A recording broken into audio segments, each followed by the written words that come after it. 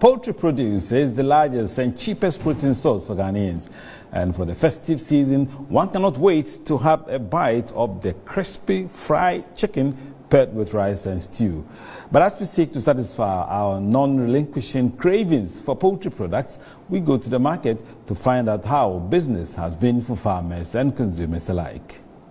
Christmas is usually a good business season for those engaged in poultry farming, as chicken and other poultry products witness high purchases during this season. Many farmers have in stock grown broilers, others slaughter their old layers, or some sell from their locally reared flock and breeds just to make sure the preferences of the consumers are met. There seems to be a change in the trends, however, as some sellers we spoke to bemoaned low sales of poultry products, even though the Christmas season is fast approaching approaching. The Christmas is not due, so people come once in a while. So we are praying that during the festive season, people will come and buy like the other years.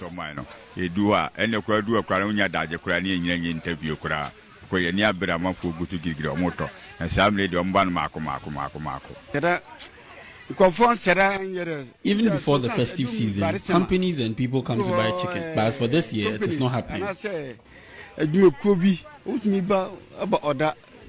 Oh.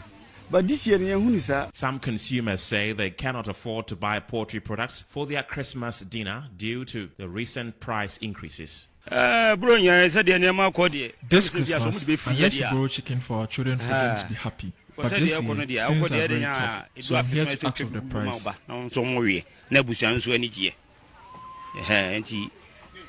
meyɛ sure sɛ afei deɛ sɛdeɛ nneɛma kɔ na m sɛ ɛyɛ dene kakra ɛyɛ dene sɛ bɛtumi atɔ akɔkɔ no ɛno koraa na mba bɛbusa ho boɔ si deɛ ɛbɛsi akɔ afei I am here to buy three fowls, but because of the price, I can only afford one. It was 40 cedis then, but now it is 60 and 65, which is too high. Why is that possible? But it shouldn't be such, so they should reduce the price.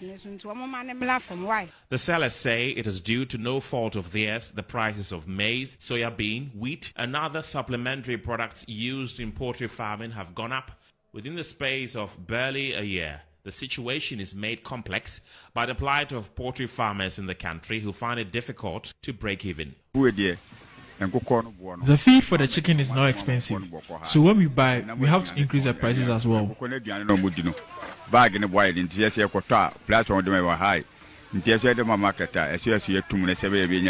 Will it be the case that most Ghanaians would opt for the imported cheaper frozen chicken? The government pledged in the fiscal budget plan for 2023 to increase local productivity capacity, and exporting poultry from Ghana is seen as one sure way to do so as they work to lessen Ghana's reliance on imported goods. However, the question that raises the issue is will this be possible for the country's poultry industry?